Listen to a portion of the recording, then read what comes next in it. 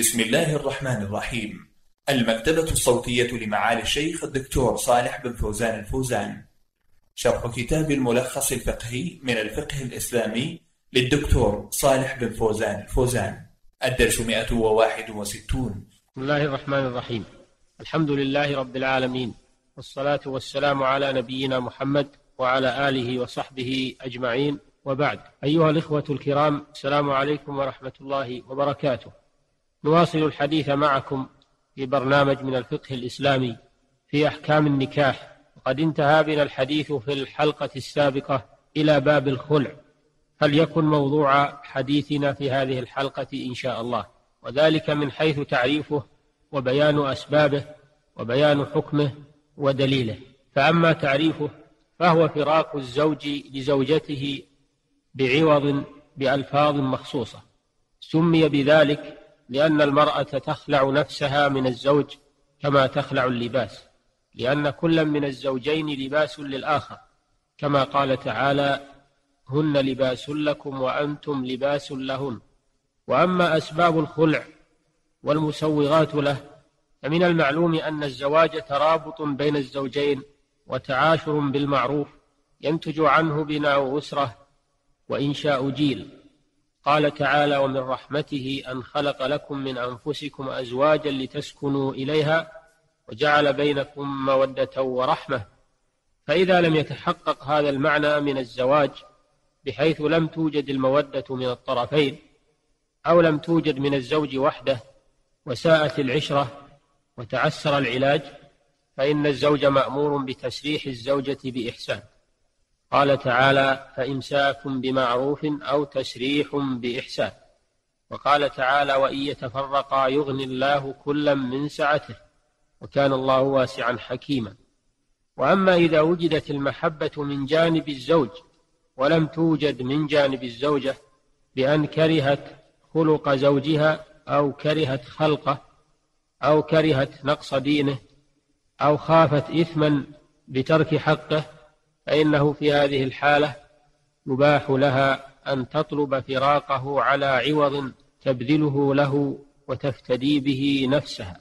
قوله تعالى فإن خفتم ألا يقيما حدود الله فلا جناح عليهما فيما افتدت به أي إذا علم الزوج أو الزوجة أنهما إذا بقيا على الزوجية لا يؤدي كل, كل واحد منهما الواجب عليه نحو الآخر ويحصل من جراء ذلك أن يعتدي الزوج على زوجته أو تخاف المرأة أن تعصي زوجها فلا حرج على الزوجة حينئذ أن تفتدي نفسها من الزوج بعوض ولا حرج على الزوج من أخذ ذلك العوض وتخلية سبيلها.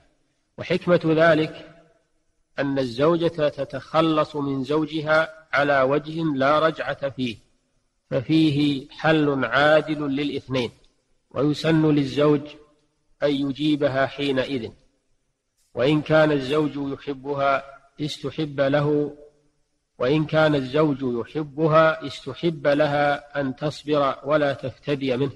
وأما, وأما حكم الخلع فإنه يباح إذا توفر سببه الذي أشارت إليه الآية الكريمة وهو خوف الزوجين إذا بقي على النكاح ألا يقيما حدود الله وإذا لم يكن هناك حاجة للخلع فإنه يكره. وعند بعض العلماء أنه يحرم في هذه الحال لقوله صلى الله عليه وسلم أيما امرأة سألت زوجها الطلاق من غير ما بأس فحرام عليها رائحة الجنة. رواه الخمسة إلا النسائي. قال الشيخ تقي الدين رحمه الله الخلع الذي جاءت به السنة أن تكون المرأة مبغضة للرجل فتفتدي نفسها منه كالأسير وإن كان الزوج لا يحبها ولكنه يمسكها لغرض أن تمل وتفتدي منه فإنه يكون بذلك ظالما لها ويحرم عليه أخذ العوض منها ولا يصح الخلع. لقوله تعالى ولا تعضلوهن لتذهبوا ببعض ما آتيتموهن أي لا تضاروهن في العشرة لتترك بعض ما أصدقت أو كله أو تترك حقا من حقوقها التي لها على زوجها إلا إذا كان عضله لها في تلك الحال لكونها غير عفيفة عن الزنا ففعل ذلك ليسترجع منها الصداق الذي أعطاها جاز له ذلك لقوله تعالى إلا أن يأتين بفاحشة مبينة. قال ابن عباس رضي الله عنهما في معنى الآية هذا في الرجل تكون له المرأة وهو كاره لصحبتها ولها عليه مهر فيضرها لتفتدي به فنهى تعالى عن ذلك ثم قال إلا أن يأتين بفاحشة مبينة يعني الزنا فله أن يسترجع منها الصداق الذي أعطاها ويضاجرها حتى تتركه له ويخالعها والدليل على جواز المخالعة عند حصول سببها المسوغ لها الكتاب والسنة والإجماع. أما الكتاب فالآية التي أسلفنا تلاوتها وهي قوله تعالى فإن خفتم ألا يقيما حدود الله فلا جناح عليهما فيما افتدت به. وأما السنة ففي الصحيح أن امرأة ثابت ابن قيس رضي الله عنه قالت يا رسول الله ما أعيب عليه في دين ولا خلق ولكن أكره الكفر في الإسلام. أي كفران العشير المنهي عنه والتقصير فيما يجب له بسبب شدة البغض له فقال لها الرسول صلى الله عليه وسلم أتردين عليه حديقته؟ قالت نعم. فأمر فأمرها بردها وأمره بفراقها. رواه البخاري. وأما الإجماع فقد قال ابن عبد البر رحمه الله لا نعلم أحدا خالف في ذلك إلا المزني.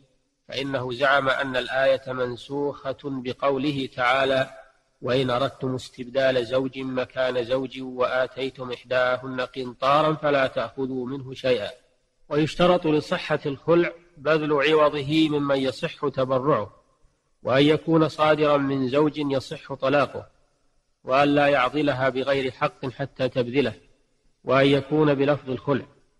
أما إن كان بلفظ الطلاق أو بلفظ كناية الطلاق مع نيته فهو طلاق بائن لا يملك رجعتها لكن له أن يتزوجها بعقد جديد ولو لم تنكح زوجا غيره إذا لم يسبقه من عدد الطلاق ما يصير به ثلاثة. أما إن وقع بلفظ الخلع أو الفسخ أو الفداء ولم ينوه طلاقا كان فسخا لا ينقص به عدد الطلاق. روي ذلك عن ابن عباس رضي الله عنهما واحتج بقوله تعالى الطلاق مرتان ثم قال تعالى فلا جناح عليهما فيما افتدت به ثم قال تعالى فإن طلقها فلا تحل له من بعد حتى تنكح زوجا غيره فذكر تطليقتين ثم ذكر الخلع ثم ذكر تطليقة بعده فلو كان الخلع طلاقا لكان رابعا والله أعلم. أيها المستمعون الكرام إلى الحلقة القادمة بإذن الله. لمواصلة الحديث في موضوع آخر. والله الموفق. السلام عليكم ورحمة الله وبركاته. والحمد لله رب العالمين.